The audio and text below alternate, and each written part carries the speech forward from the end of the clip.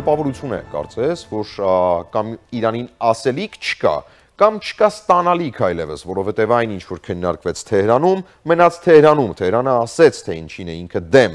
այդ թվում նաև հայ-իրանական սահմանի խախտմանը։ Վերջապես ինչ են պայմանավորվել Պուտինն ու Էրդողանը Սոչիում, վերջին հանդիպան ժամանակ ինչը չի դարձել միջազգային հանրության իմացության թեմա։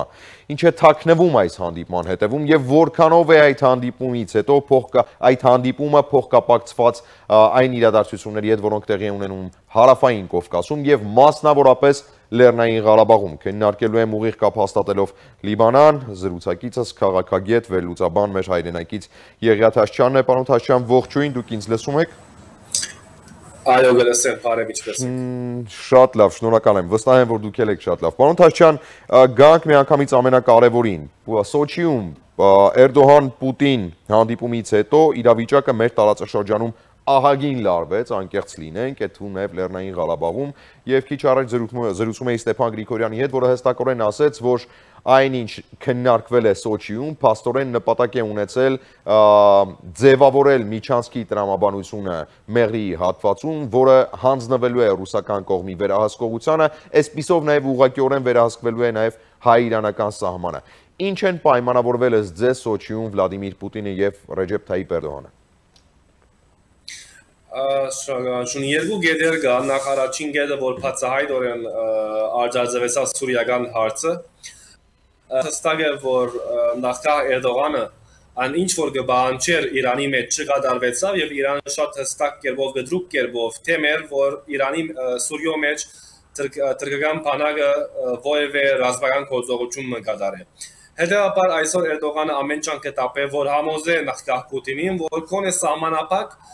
ռազմական կոզողությունը գադարը, որև շատ կարևոր է ինչպես որ գիտենք կալ դարի Թուրքիո մեջ նախքաղաքական եւ պարլամանի ընդրությունները գա հետեւաբար պետք է Էրդողանը գեդեր քաղաքական գեդեր արձանագրե եւ աս գեդերը հրամցնե ժողովրդին հետեւաբար շատ կարևոր է որ Սուրիո մեջ ռազմական կոզողությունը գադարե իսկ երկրորդ գեդը ես տակավին չեմ տեսնել որ Ռուսիան գործակցի Թուրքիո հետ ինը բաց այսպես կոչված զանգեզուր միջազգին համար, որտեղ այսօր Ռուսիո եւ Իրանը ինչպես է Հնդկաստանի հիմնական գետն է հյուսիս հարավ ճանապարհը եւ ոչ արևելք արևմուտք արևելք ճանապարհը որ կանցնի այսպես կոչված զանգեզուրեն որը նախ այս ճանապարհը նաեւ որոշակով վտանգ է Ռուսիո եւ Իրանի շահերը իսկ հյուսիս հարավ ճանապարհը ինը բաստ ռուսական եւ վստահաբար Իրանի շահերեն կփոխի։ Շատ բարի։ Պարոն Թաշյան, այդ դեպքում ինչպես է ստացվում, որ անդադար քննարկվում է Զանգեզուրի Միչանսկի հարցը, ինչ տպավորություն է ստեղծվում, որ Իրանն ու Ռուսաստանը միասին ելնելով հյուսիս-հարավ ճանապարհից ավելի թույլ են իրենց դիրքերում հարավային Կովկասում, քան Թուրքիան եւ Ադրբեջանը, որոնց գերական նպատակն է այդ արևել-կարևմուտք ճանապարհը կազմակերպել։ Արդյոք սա թույլ է ցույց է տալի Մոսկվայի եւ Թեհրանի թուլությունը գնամ ասել ոչ թե իրենց թուլությունը, այլ որ իրենց ճաշնագիտին թուլությունը, այս բարակային Հայաստանը։ Իսկ եթե պիտի նայենք Ադրբեջան եւ Թուրքիա հարաբերությունը, կտեսնենք, որ այսօր Թուրքիան հզոր ճաշնագիծ ունի, որ Ադրբեջանն է, եւ ոչ կարեւոր է նաեւ որ ուսումնասիրենք Ադրբեջանի շատ հետաքրական միջև հիմա գնամ ասել հաջող եւ հավասարակշռված քաղաքականությունը, քաղաքականությունը, որ կհավասարակշռի արևմուտքին Ռուսիո եւ Թուրքիո միջև։ Մենք տեսանք վերջերս, որ գազի համացանությունը կար մոտ 3 շաբաթ առաջ արևմուտքին, ասին Եվրոպական միության եւ Ադրբեջանի, սակայն միևնույն ադեն այսօր Ռուսիո եւ Ադրբեջանի միջև շատ լավ հարաբերություններ կան։ Շատ հստակ է այս մեկը։ Հետևաբար այսօր Ադրբեջանը ակտիվ խաղացող թեր ունի, իսկ Հայաստանը դակավին դժբախտաբար пассив քաղաքականություն կգվարե շրջանի մեջ։ Շատ բարի, ասել կուզեք, որ մեծամասամբ հյուսիս հարավ ավտոճանապարի ձևավորումը եւ հակադրումը արևելք արևմուտք այդ Զանգեզուրյան Միչանսկին մեծամասամբ Հայաստանի ձեռքերում է եւ եթե Հայաստանը թույլ է չի կարողում չի կարողանում դրան հակազդվել կամ ընդդիմանալ, հետեւապես Ռուսաստանը եւ Թեհրանը այստեղ անելիք չունեն։ Ես կսեմ, որ եթե 2020 թվականին առաջ հյուսիս հարավ ճանապարհը կոնե Հայաստանի անցքը, որ Հայաստանի միջև բիդելլար, եթե գառուցվել նույնիսկ պատերազմի բազեր ունենալ ուժը որ գնար ասենք շրջանին կամ Եվրասիական մեծ պետությունների ինչպես Հնդկաստանի եւ Չինաստանի համար շատ կնա ներդրումներ ստանալ։ Ոս մասնավորապես ես կխոսեմ նաեւ Սյունիքի մեջ մենք գործընթացինք ավելի քան 10-15 տարի, որը պետազություն կար, ամեն գիտենք այսին, չենք ուզել աջակցել այդ նյութերը։ Եվ այսօր դակավի մենք ուշ ենք։ Այսօր գտեցնենք այդ շրջանը սահմանային, ասենք տարանցքը, որ մենք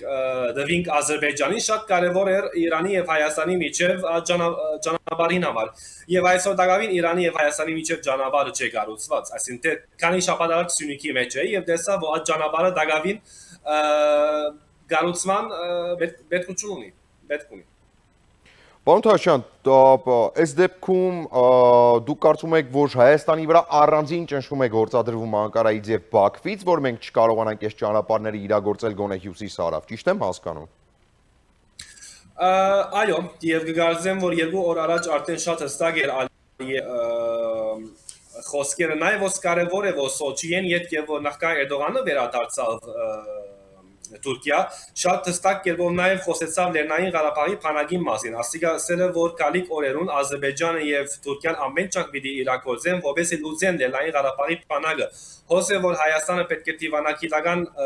շատ հսկա աշխատանք մտանի Ռուսիայի եւ Իրանի հետ, Եվ եթե լուծենք Լեռնային Ղարաբաղի փանագը, ասել է որ հայություն ֆիզիկական գոյությունը հայության Արցախի մեջ վտանգված է եւ նաեւ հոս ուրիշ վտանգավոր բան մգա որ նախկա Ալիևի խոսքի մեջ շատ հստակ էր եւ որ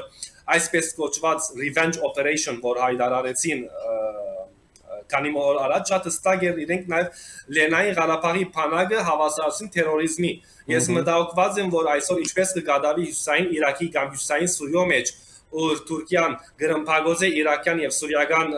շրջանները terrorizmi հասկացողության տակ, նաեւ ավակային ազերբայջանական բանալը գրնա ռմփագոծել հայկան դիրքերը Լեռնային Ղարաբաղի մեջ terrorizmi այսպես կոչված շագետյալ terrorizmi հասկացողության տակ։ Շատ բարի։ Իդեպ ադրբեջանական կողմը հենց այդպես էլ ոչ պաշտոնական մակարդակում հա հակա ահաբեկչական գործողություն որակեց վերջին այն գործողությունները, որոնք տեղի էին ունենում ինչպես Լաչինի Բերձորի միջանցքում, այնպես էլ Արցախի մնացյալ հատվածում։ Այս դեպքում ինչ ինչ տեսակ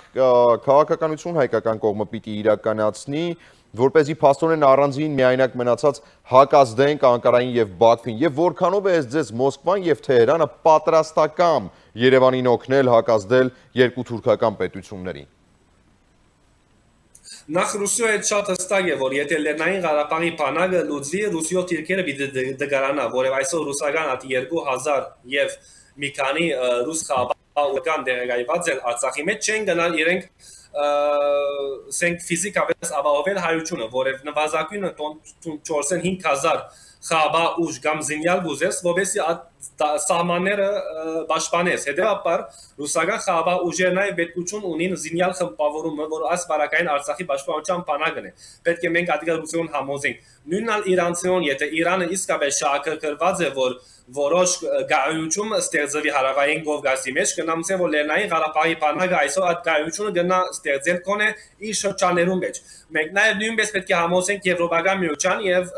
միացան մասնավորապես Միսկի խմբակի համանախագահաներուն որ Լեռնային Ղարաբաղի բանակը նաև որոշ գայություն գուտա եւ նաև ապահովություն որովհետեւ նվազագույն առումով հայերը, որ այսօր կփնակվին Արցախյան տարածերում մեջ, ապահով կերպով շարունակեն իրենց կյանքը։ Պանթաշյան և ամենավերջում, եթե դեմ չեք, որն էր իրական նպատակը ձեզ լաչինի միջանցքի ուղությամբ ադրբեջանական ագրեսիայի, որովհետև խոշոր հաշվով թեկուզ ռուսական խաղապահ կոնտինգենտի մանդատը հաստատված չէ, բայց Ադրբեջանում շատ լավ հասկանում են, չէ, որ Բերձորում կանգնած են ռուսական զորքեր եւ նրանք են վերահսկում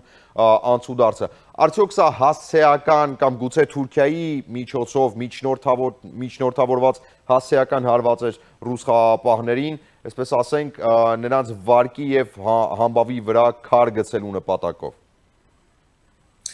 շատ կարևոր է այս մեկը նախ այդ կոնտեքստի մեջ առնել, որ բադայեցավ Տեհրանի վեաժողովեն իդ եւ Սոչիի վեաժողովեն առաջ։ Հիշենք, որ նույնանման թեման բադայեցավ նաեւ Հյուսային Իրաքի մեջ, որ թրկական զորքեր զորքեր ռմբագործեցին դողոկը եւ նաեւ հետո իրաքյան զինյալ խմբավորներ, որ շատ հավանաբար օժված են Իրանի կողմէ ռմբագոզեցին թրկական ռազմագայանը ասել որ նաև ոսկանի ասենք Թուրքիո եւ Իրանի միջև մրցակցություն մը կար նույնիսկ գնամ ասել որ դեպը բադայցավ մեջ ուր հայկական գոմը զոհացավ կամ գրվախնցորը, սակայն որ շապով պատասխան մներ Թուրքիո, Ռուսիո եւ Ռուսիո պատասխան դակավին գնամ ասել մենք չի դեսանք ուշացավ։ Ռուսիան գործի այսօր ամեն չանք տապես սիրաշահել Թուրքիան եւ Ադրբեջան եւ դժբախտով այս մեկ գդարվի հայ ժողովրդին հաշվում։ Սակայն չեմ գիտեր միջև ուր էր գամիր քիզերը Ռուսիո համար։ Սակայն հարցը այն է որ հայկական գոմը քիչ մի շատ արագ շարժեցավ մենք տակավին ժամանակ ունեինք եւ տակավին այլանդրանքային ճանապարհը, որ Հայաստանի կողմը պետք է կառուցել, տակավին չկառուցվեցավ այդ մեկը։ Այսինքն մի քանի ամսվա մեջ Ադրբեջան կառուցեց, իսկ դժբախտաբար հայկական կողմը 1 մետր նույնիսկ չկառուցեց, որովհետեւ լաչինի մեջ այլանդրանքային ճանապարհը կառուցել եւ վտանգը անե որ քանի մը ամիս շատ հավանաբար Հայաստանի եւ Արցախի միջև գաբը խզվի եւ նաեւ հոս ես կխոսին ոչ միան Միչանսկի գաբը նաև գազի հարցը, որը այսօր գազի խոհապատները գանցնին ներկա ճանապարհով, իսկ այլանդրանքային կամ նոր ճանապարհով, որ գալուց Ադրբեջանը ոչ գազի, ոչ երկարության, ոչ այլ խոհապատներ գանցնին։ Պանթաչյան, ես պարզապես հիշեցնեմ, որ նոյեմբերի 9-ի հայտարարության 6-րդ կետում նշված չէր, որ ճանապարհը պիտի կառուցվի օրինակ կարճ ժամկետներում եւ 3 տարվա կտրվածքով, նշված էր, որ մինչև 2023 թվականի նոյեմբերի 9-ը պետք է ներկայացվի ճանապարհի կառուցման նախագիծ եւ ոչ բնավ ճանապարհը պիտի ամբողջությամբ կառուցված լինի ենթակառուցվածքներով հաշվի առնելով թե ինչ ծանր աշխատանք է իրականում այդ ենթակառուցվածքները տեղափոխելու հարցը ես անչափ շնորհակալ եմ որ ժամանակ գտաք միացաք մեզ եւ շնորհակալ եմ ձեր արժեքավոր դիտարկումների համար հույս ունեմ մոտ ապագայում կրկին հնարավորություն կունենանք զրուցել պարոն Թաշչյան ես հիշեցնեմ մեր հերոստադիտողներին որ ուղիղ կապ էինք հաստատել Բեյրութ զրուցում էինք մեր հայրենակից քաղաքագետ Վերլուծաբան Եգեա Թաշյանի հետ։